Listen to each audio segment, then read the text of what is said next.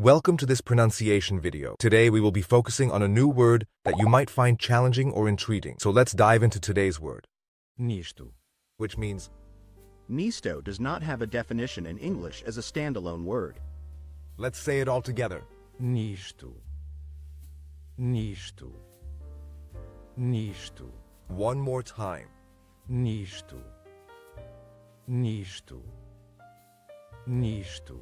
Thank you for joining us on this adventure in pronunciation. Remember, language is a journey, not a destination. Keep exploring, experimenting, and expanding your linguistic horizons. We'll see you next time.